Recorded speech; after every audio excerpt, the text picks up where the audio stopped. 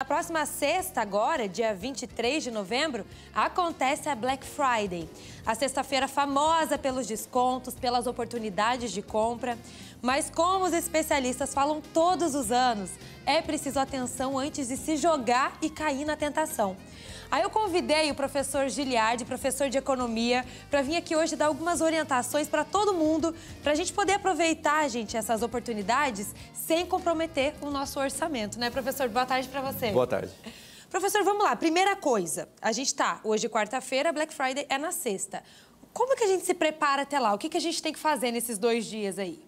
Para essa preparação até a Black Friday, que é um, uma, uma data bastante esperada por muitas pessoas, inclusive, é importante a gente ter um planejamento, né? planejar. E é claro que é importante a gente já ter um planejamento até antes desses dois dias. Né? Já vim observando o que é que necessariamente eu preciso e o que eu, qual é o valor disponível que eu posso gastar com, uhum. esse, com esse valor. Até porque a gente está chegando no final do, do ano, existem outras contas e outras contas do ano que vem também, que vão necessitar dinheiro. Então, se eu despender muito dinheiro por uma compra por impulso, eu vou comprometer a minha renda no futuro.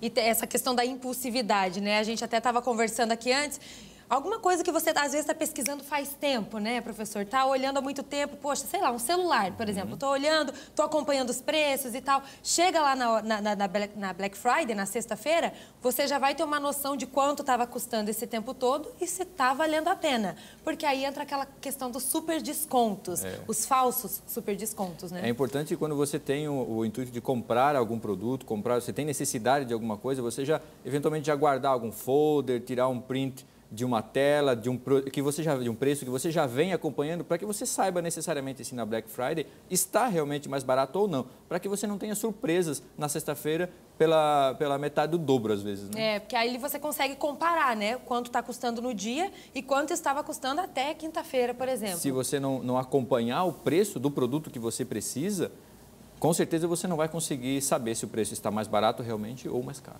Porque o que muitas empresas fazem, né, e muita gente nem sabe, porque vai ver só na sexta-feira, é de colocar exatamente isso, dobrar o preço do que estava custando antes, para daí falar que está com 50% de desconto, por exemplo, ou seja, vai dar na mesma, né? É, isso, inclusive, tem, tem possibilidade de penalidade para a loja que, que faz esse tipo de coisa, então é um problema legal isso também, então tem que tomar bastante cuidado para que a gente não, não seja pego nessa, nessa situação também, para que não tenha nenhum tipo de problema, tanto do ponto de vista legal quanto do ponto de vista financeiro também.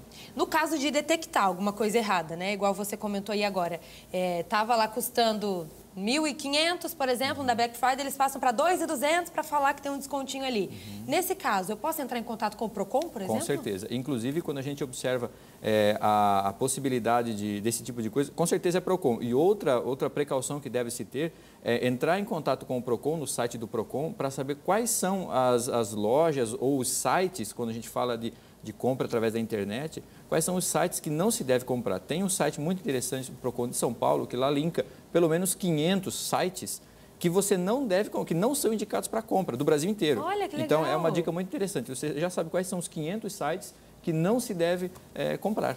É só ir num, num, site de busca lá então e colocar Procon São Procon Paulo. São Paulo você vai encontrar. Que já vai aparecer. Olha, gente, quem está guardando um dinheirinho para gastar agora na Black Friday é bom dar uma olhadinha, é, né? Existem vale muitos, muitos golpes que acontecem justamente nessa época do ano, quando as pessoas estão ansiosas, né? usam a ansiedade das pessoas em relação à compra. E o décimo terceiro? E o décimo terceiro, que é justamente isso que trouxe a Black Friday para o Brasil, porque o Brasil não comemora a ação de graças como nos Estados Unidos, mas comemora o Black Friday, né? que é, é, é atrelado à ação de graças nos Estados Unidos. Interessante isso aí. E essa então... Black Friday que aqui no Brasil às vezes dura Black Week, né? Vira Exato. Black Week ou Black Month, né? Que é. é o mês inteiro ou a semana inteira.